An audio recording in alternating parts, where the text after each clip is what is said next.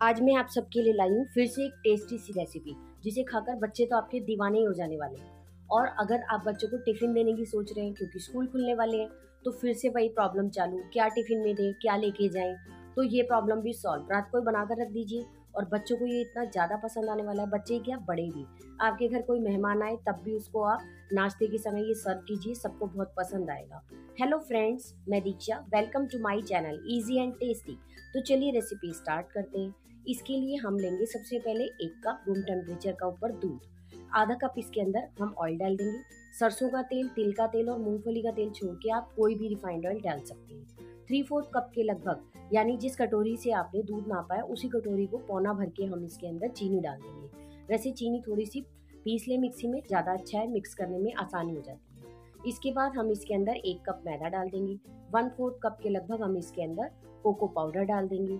एक टीस्पून हम इसके अंदर डाल देंगे बेकिंग पाउडर और हाफ़ टी स्पून डाल देंगे बेकिंग सोडा सारी चीज़ों को अच्छे से मिक्स करके और इसके अंदर छान लेंगे। कोई ज़्यादा दिक्कत ही नहीं है, ये देखिए, मैंने आपका काम कितना आसान कर दिया। फटाफट से बन जाने वाली रेसिपी है सबको पसंद भी बहुत आएगी। इस तरह अच्छे से मिक्स कर देंगे और छन्नी से अच्छे से छान देंगे। छानने से क्या होगा, इसमें एयर इनकॉर्पोरेट हो जाएगी और हमारे जो मफिन्स बनेंगे ना चॉकलेट मफिन्स एकदम बिल्कुल तालीदार बनकर तैयार होंगी और अभी मैं आपको दिखा भी दूँगी और बनेंगे इतने सारे ना, सिर्फ़ एक कप मैदा से आप मान के चलिए टोटल 24 जो है मफिन्स बनकर तैयार हुए और 24 मफ़िन खरीदने के लिए आप सोचिए, बाज़ार में कम से कम दस से पंद्रह रुपए का एक आएगा।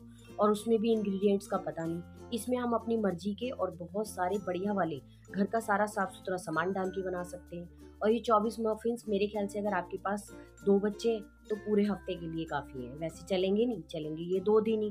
देखिए, इस तरह से सारी चीज़ों को मिक्स कर लिया। एकदम परफेक्ट कंसिस्टेंसी है। एक टेबल स्पून इसके अंदर डाल देंगे हम विनेगर अगर आप विनेगर जो है पसंद नहीं करते तो वैसे इसकी स्मेल आती नहीं है। लेकिन फिर भी अगर आप पसंद ना करें तो आधा चम्मच नींबू का रस डाल दीजिए ताकि बेकिंग पाउडर और बेकिंग सोडा एक्टिवेट हो जाए। बस अच्छे से मिक्स करेंगे। ये देखिए कंसिस्टेंसी रिबन जैसी। ना दूध एक्स्ट्रा मिलाना पड़ा, ना पानी। अगर आप परफेक्ट नाप से बनाएँगे ना तो बिल्कुल यही बैटर आपका बनकर तैयार होगा। इतनी देर जो अपम मेकर होता है ना, मैंने उसको हल्का सा गर्म होने रख दिया। गैस का फ्लेम बिल्कुल लो रखना है और हल्के से इसे मक्खन से या ऑयल से ब्रश कर दीजिए। अब इसको हम थ्री फोर्थ भरेंगे। वैसे आपकी मर्ज़ी, आप फुल भर लीजिए। फुल भरने से क्या होगा? ये ऊपर तक निकल आएँगे। तो मैंने तो इनको थ्री फोर्थ भरा है। अब ये धीरे धीरे जो क्योंकि अपम पैन गर्म भी हो रहा है तो ये धीरे धीरे नीचे से अपने आप ही जो है रोस्ट होना स्टार्ट हो गया है। लेकिन गैस का फ्लेम याद रखिए, बिल्कुल लो बिल्कुल लो। अगर हाई किया तो ये अंदर से कच्चा रह जाएगा। ये देखिए। अब धीरे धीरे ये ऊपर की तरफ़ आ रहा है। अब मैंने इसको और टेस्टी बनाने के लिए ना मेरे पास डेरी मिल्क चॉकलेट पड़ी थी, वो डाल दी। आपके पास चोको चिप्स हो, वो डाल दीजिए। मैं एक दिन आपको ना लावा केक भी बना के दिखाऊँगी। पर पहले इस रेसिपी को वायरल करा दीजिए, सबको पसंद आए। ज़्यादा से ज़्यादा जितने भी आपके फ्रेंड्स और रिलेटिव्स हैं, उनको शेयर कीजिए, ताकि सब अपने बच्चों के लिए टेस्टी मफ़िन और हेल्दी घर में बना सकें।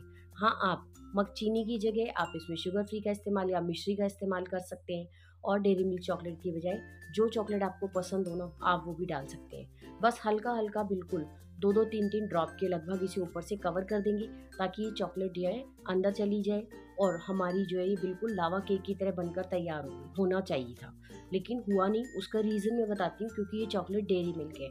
अगर आप मोडे का या कोई भी और जो चॉकलेट वाला माउंट होता है ना, वो लेते तो बन जाता आराम से।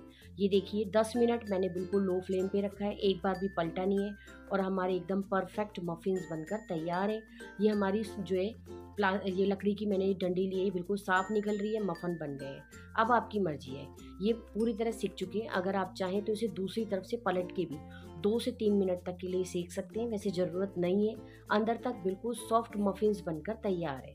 अब रेसिपी तो आपको पसंद आई गई होगी तो जल्दी से चैनल को लाइक शेयर और सब्सक्राइब कीजिए और प्लीज़ बेल आइकन को ज़रूर से प्रेस करना, ताकि मैं रोज़ रोज़ जो भी नई नई रेसिपी लाती हूँ ना, वो सब आप सबसे पहले देख सकें।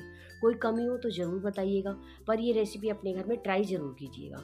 सिर्फ़ पंद्रह मिनट में इतने सारे, इतने बढ़िया केक आपने इमेजिन भी नहीं किया होगा और ना काटने का झंझट, ना फ्रूज फ्रिज में स्टोर करने का झंझट। आराम से तीन चार दिन तक इसको बाहर ही आप स्टोर करके रख सकते हैं, कोई प्रिजर्वेटिव भी ऐड नहीं किया। और बच्चों को खाने में ये बहुत टेस्टी भी लगने वाले हैं। ये देखिए, पहले मैंने एक बैच बना लिया, फिर उसके बाद इसी में मैंने दूसरा बैच बनाया। पर अब चॉकलेट तो हो गई ख़त्म। चार पाँच पीस ही बचे हैं। क्योंकि बच्चे तो आपको पता ही है, खा भी जाते हैं ना बीच बीच में। और ख़ुद का भी तो मन करेगा डेयरी मिल्क चॉकलेट और बंदा खाने से रह जाए। हो ही नहीं सकता। कम से कम मेरे साथ तो नहीं हो सकता। आप इस तरह से इनको पलटना है, पलटिए, नहीं पलटना, ना पलटिए। आपकी चॉइस टोटल चौबीस मफ़िन्स बनकर तैयार हुए। बहुत सारे मफ़िन हैं, सिर्फ़ एक कप मैदा से हैं। तो जल्दी से चैनल को लाइक शेयर और सब्सक्राइब कीजिए।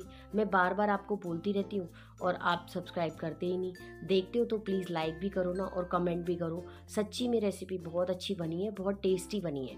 एक बार अगर आप इसे अपने घर में ट्राई करेंगे ना, ये लो, गिर ही गया। ये तो लगता है मेरी नज़र का ही गिरा होगा। मन कर रहा है फटाफट से खा लो, पर चलो कोई नहीं। पहले आप रेसिपी देख लो, उसके बाद मैं तो चली खाने। तो चलिए फिर मिलेंगे बाय नई रेसिपी में। Please press